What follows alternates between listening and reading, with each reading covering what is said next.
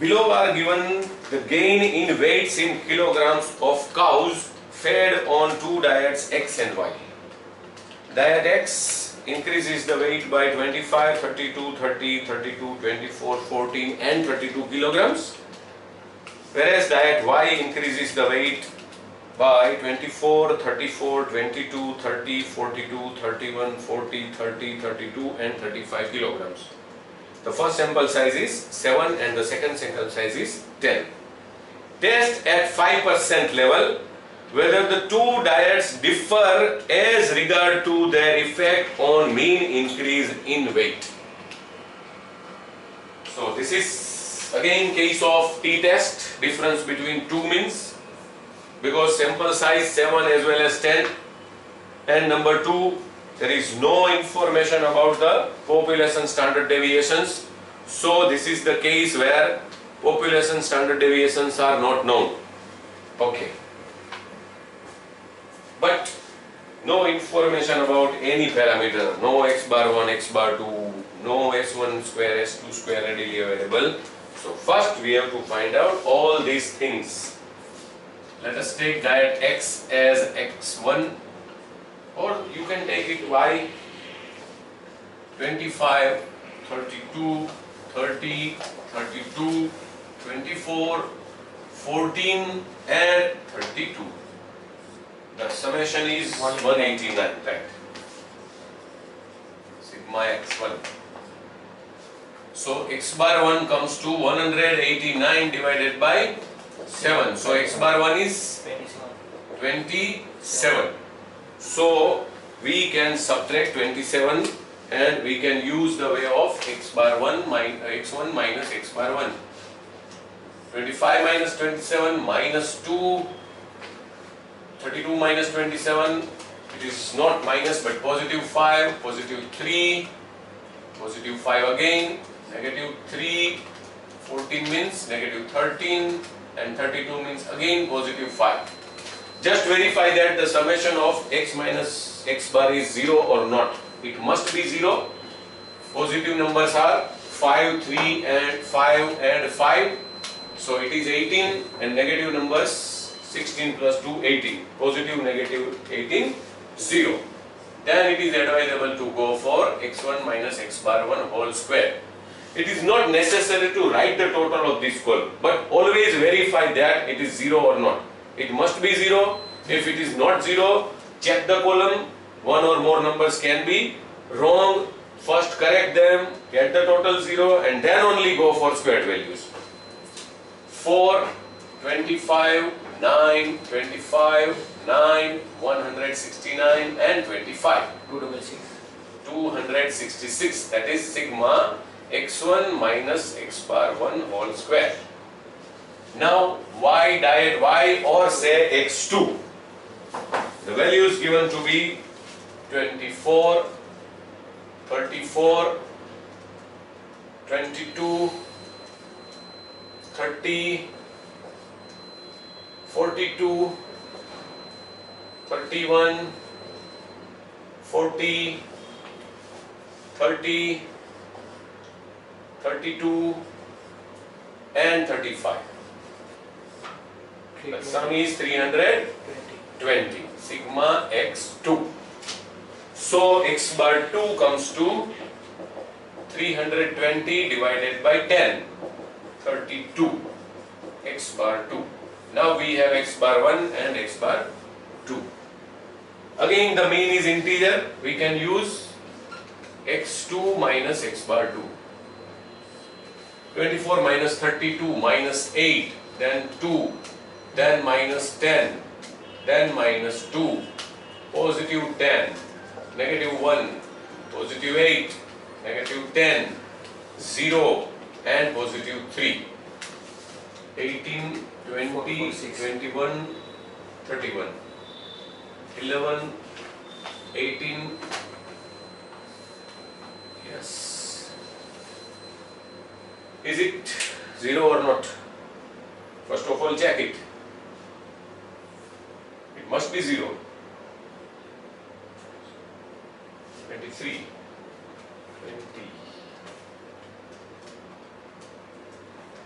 20 actually 0 according to Minus 8, 2, minus 10, minus 2 is right. Positive 10, minus 1, Minus positive eight. 8, minus 10, 0 and 3. Minus eight. No, it is not correct. Something is wrong there. 24 minus 32, minus 8. 34 minus 32, 2. Minus 10, minus 2. It is positive 10, okay. It is negative 1.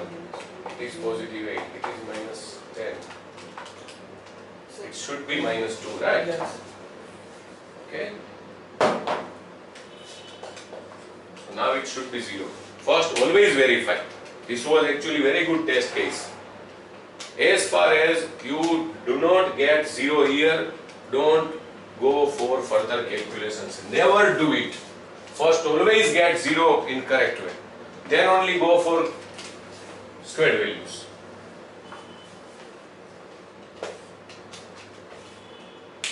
Twenty-three negative and positive is twenty-three. So now we have obtained zero because the summation of deviations taken from mean is always zero. It must be zero. So this is a nice checkpoint against you. Now squared values 64, 4, 100, 4, 100, 164, 4, 0 and 9. Fifty. 350. This is sigma x2 minus x bar 2.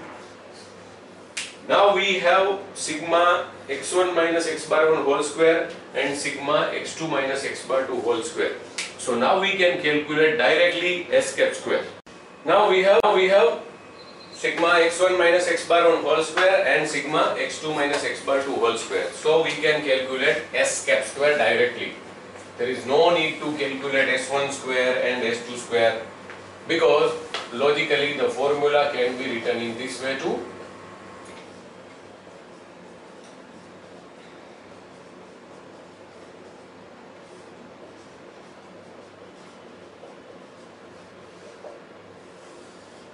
It's 266 plus 350 divided by 7 plus 10 minus 2.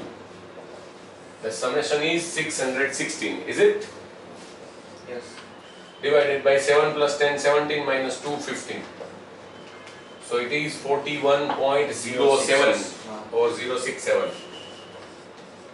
This is S cap square. So now we have all five things or say all three things which we require to substitute in the formula x bar 1, x bar 2, sample size, s cap square, everything.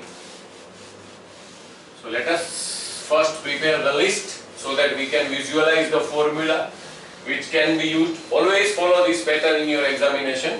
First always prepare the list of the available data that will help you to visualize the formula and on the basis of the visualization of the formula you can select the right test. So N1 is 7, X bar 1 is 27, N2 is 10, X bar 2 is 32 and now directly write S cap square. What was it? S one. Four one point one zero six seven. Zero six Zero seven. Yes. Okay. Test at five percent level whether the two diets differ as regards to their effect on mean increase in weight. So now the hypothesis is always for no difference. As I earlier stated, it is also known as no difference hypothesis. The two diet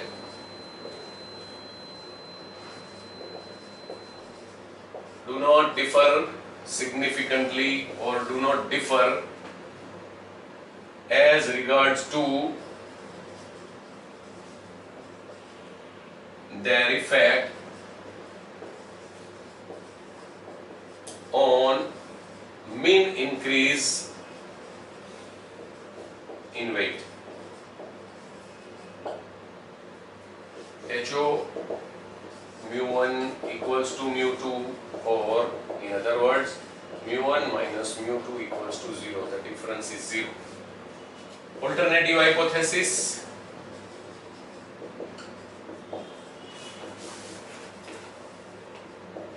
The question is direct no directional term or indicative term for one tail test. Test whether the two diets differ. So we have to treat this as two tail test. The two diet differ significantly as regards to their effect on mean increase in weight. See the term increase is actually not for indication of one tail test. The entire data x1 as well as x2 or say diet x, diet y, all the two columns actually show increase in weight of the cows. So the data is about increase in weight of the cows. That means the term increase is not the indicative term or directional term for one tail test. The hypothesis related wordings are very simple. Test at 5% level whether the two diet differ. So we can show that the two diet do not differ and the two diet differ. HA mu1 is not equal to mu2 or mu1 minus mu2 is not equal to 0 that means two tail test. Level of significance.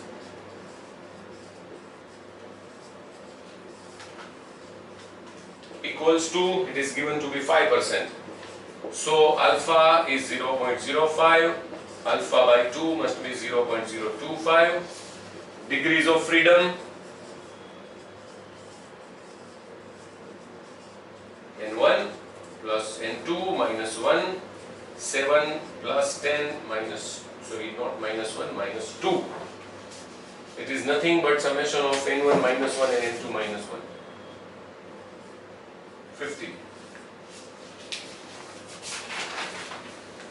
degrees of freedom 15 so row of 15 and alpha by 2 is 0.025 2.131. yes critical value of t equals to 2.131 now calculation of t.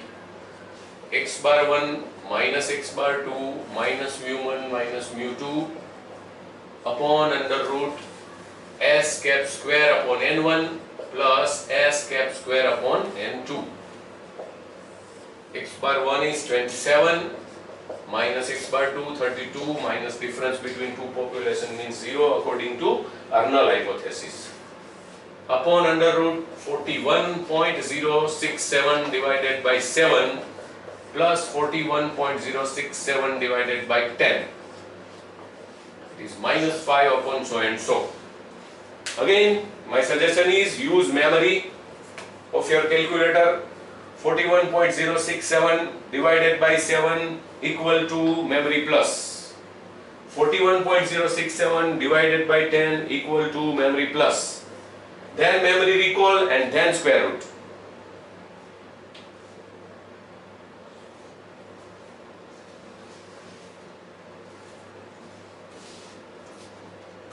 What is it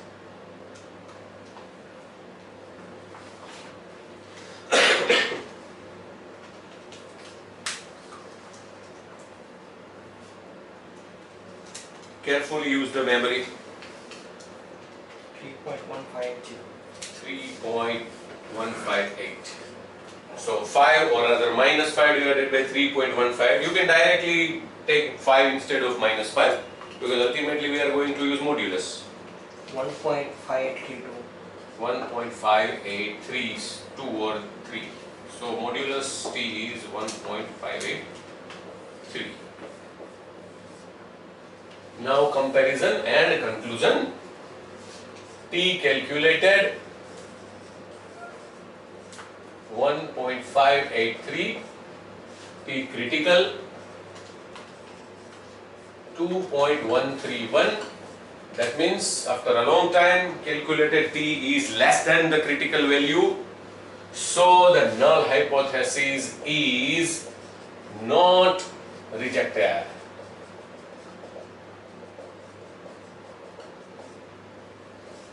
Conclusion will be the null hypothesis itself mu1 equals to mu2 that means the two diets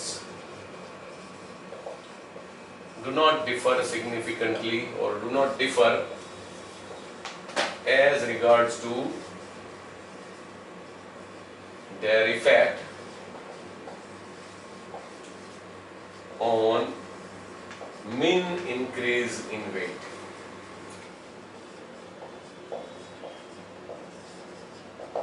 Both are more or less with similar effective effect on the increase of weights of cows.